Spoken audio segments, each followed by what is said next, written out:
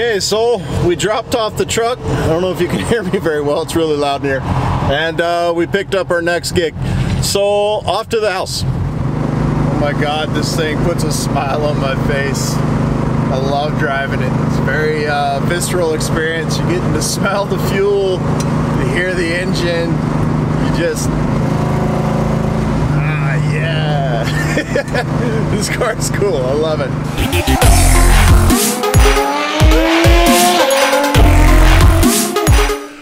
What's going on everybody? Welcome back to another episode of Mobile Detail in Edmonton. My name is Lance. It's your first time joining us? Where have you been? Today, I want to teach you guys some stuff that I learned off of watching Larry at Ammo NYC's video, and then I took my nerdy little brain and added some thoughts to help me with this car's paint because the oxidation levels are just crazy on this thing. Um, I'm cutting through layers and layers and layers. So I had a chat with Larry. Um, we, we talked about some different ideas and we both came up with the thought that hydration is uh, it's not only important in washing your car, but it's important in getting something as dry and as old and as neglected as this paint to looking good again. So we're going to talk about hydrating the paint. We're going to talk about the down techniques. We're going to talk about how often to blow out the pad. We're going to talk about what pads I used and then the different levels of compounds. Um, sometimes I use a mixture of compounds. Sometimes I just use one. So let's get into it. Okay, so let's talk quickly about hydration. I'm to show you this paint. This paint is, well, it's original. um, hasn't really had a whole lot done to it. It was supposed to be a project for the owner and his father. That didn't happen. And uh, now it's pretty much, let's see if we can pull this color back out, re-protect the paint, and get all of this overspray markings off of the paint that it's absorbed because it's so dry. Here, let me show you a little bit of what I'm talking about. So here, is a nice example of what I'm talking about. There, there, there, there, there, there. There, there, there, there, there, just there. So what I'm gonna do is I'm gonna take this and make it look like this. Okay, so this is a 68 GTX 440. It is completely original and it shows. um, hasn't had a lot of love. Our job is to do that. So I'm gonna show you guys some cool steps. Let's start off with what Larry and I were discussing, and by Larry, Larry at Ammo NYC, um, I wanna show you guys some steps that this thing needed. Um, I'll give you a quick little clip now. This is what the trunk lid looked like before. This is what it looks like now. Okay, so like I said, we're going to lubricate the paint, get it hydrated basically. And I'm gonna work on a very small section right here. We're gonna do this fender. So let's hydrate this paint. Uh, what I'm doing to use, what I'm using to do that is I'm using Menzerna's 3500. Um, I like this for the lubricity that it has. It has no fillers, no extra components. Um, our Gyeon has an SiO2 base um, and uh, I just, I want to keep this as raw as possible. So just put a little bit on your application sponge and that was a lot. And basically all I'm doing is just rubbing it in gently.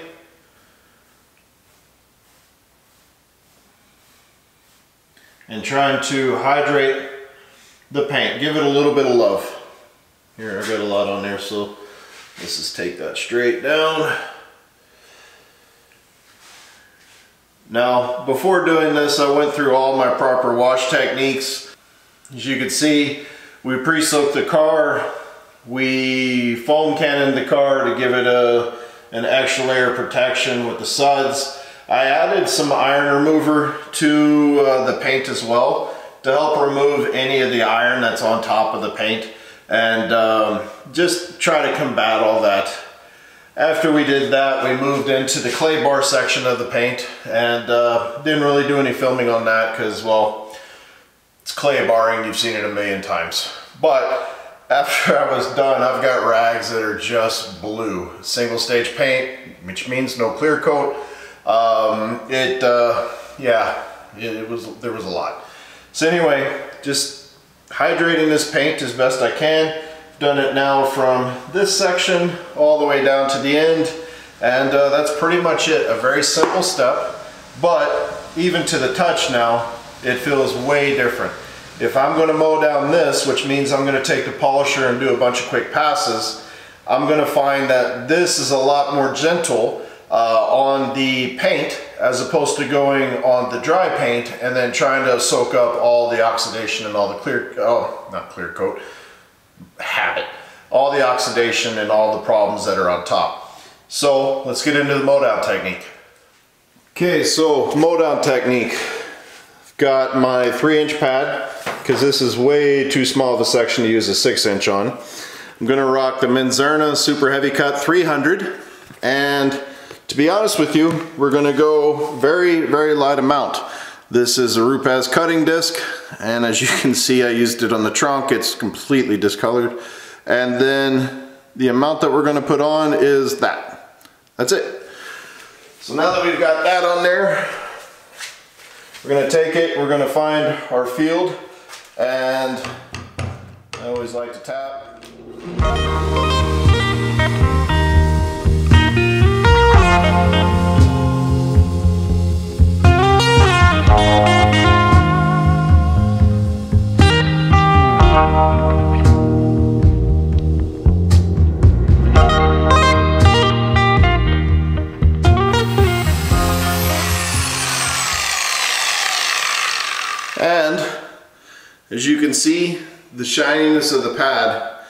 That's all the oxidation and all the nasty that's inside of the paint right there. So I'm gonna go blow it out. And all I've done was just a quick mow down to here. I'm gonna do that probably one or two more times and then we'll get into the cutting. Okay, so now what we're gonna do is, like I said, I'm gonna switch to our cutting pad. I've lifted the hood up so we don't burn the edges of here. Um, Got some tricks that I'm gonna do later for not burning the edge whenever we're doing it. Basically the same thing except for I'm gonna tape off under here so it doesn't roll and burn this edge as well. But um, let's talk about this piece. So now we're gonna move on to the cutting stage. So I'm gonna switch to Gyeon Quartz Compound Plus. Um, super great cutting abilities, uh, very smooth, a lot of lubricity. Um, it's just, it allows you to cut a little bit longer, but I've switched to a brand new pad because the other pads, well, A, they're not very pretty to look at anymore. They're all blue and black looking. But uh, I'm gonna show you guys how much discoloration you get with one pass of uh, cutting here. So we're gonna go just one small line and we'll put that right chop and here we go. So we stopped our line right here and we're gonna keep up with that. So we'll just make a little little mark right there just so I remember.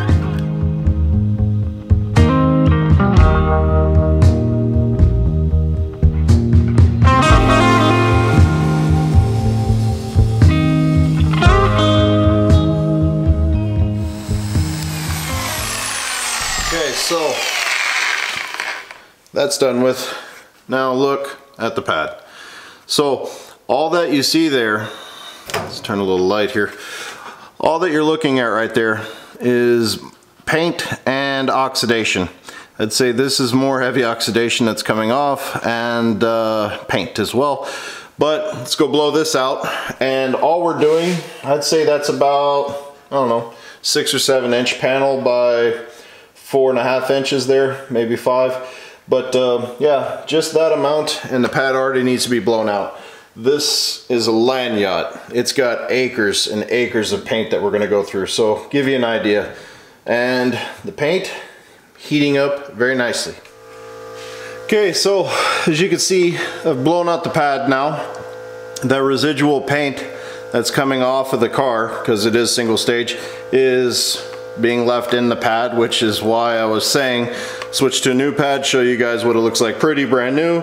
and then we'll go from there. So what I'm gonna do is I'm gonna keep working this entire panel until I get it the way I want it, and then I'll show you guys hydration, cut, and then back up here we already know what it looks like, but I'll show you guys the differences and the levels that you're gonna be able to see as far as clarity comes and how it goes.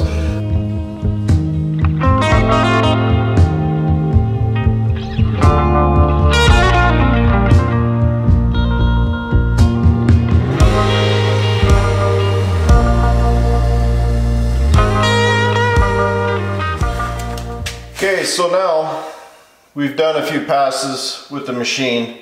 Let's wipe it off, see what it looks like, and then we'll go and do our full correction like we would normally do because let's be honest, the oxidation's gone. Now we're chasing scratches and we're gonna start chasing clarity.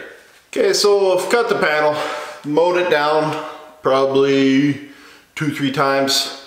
I've cut it and uh, I want to explain something to you just in case there's any confusion. So mow down technique, very, very little um, compound, like on Larry's show they were talking about.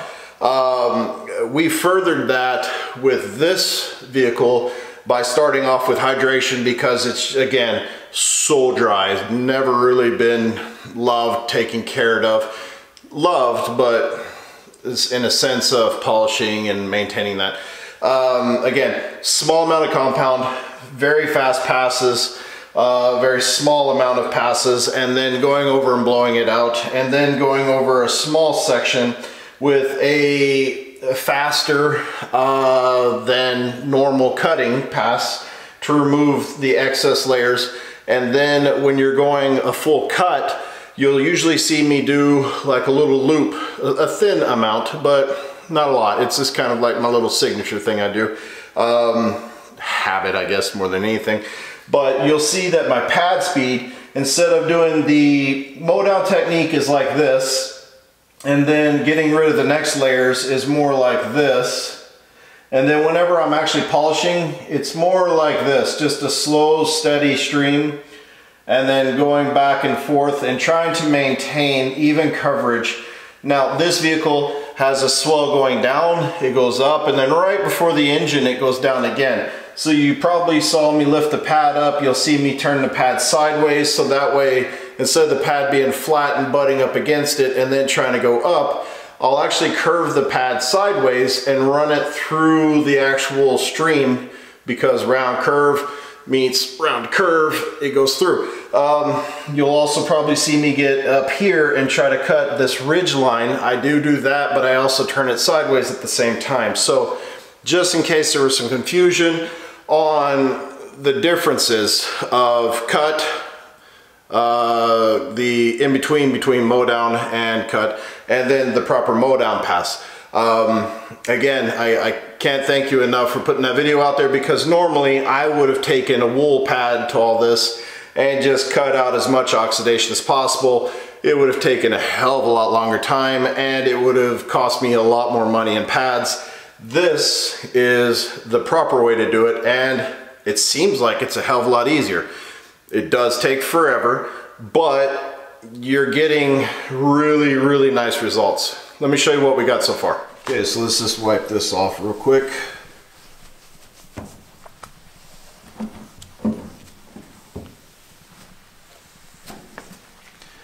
Okay, so here we go. Choose our lights. That is the look we're looking for. Over here, you can see the line that I had placed in before. It's right there.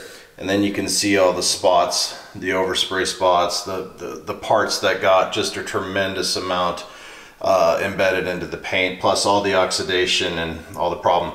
Um, definitely, the color's even different. So that guys is what we're looking at. That's what we're going after. The next steps are very simple, steps that you're used to. They're gonna be refinement, trying to pull the color out. But before I do that, um, I'm not gonna do it for camera and keep my line there and all that. I just wanted to show you the differences of how it works. Um, at the uh, video, we're going to place somewhere in the video uh, the trunk, the different steps that I used to get the trunk to where it's at now. Um, I think I even put some tape on there and wrote some numbers on, so we'll probably put that towards the end. But anyway, just wanted to give you guys an idea of what I'm doing and how it's going and the it's just it's it's a really really good technique. You all should be doing it on your single stages with your heavy oxidation. It'll help you out. It'll save you money in pads and it actually works phenomenal. In my case the only thing different than what they did on their videos is uh, hydration uh, to begin with because this one isn't like that Lamborghini you saw in his video.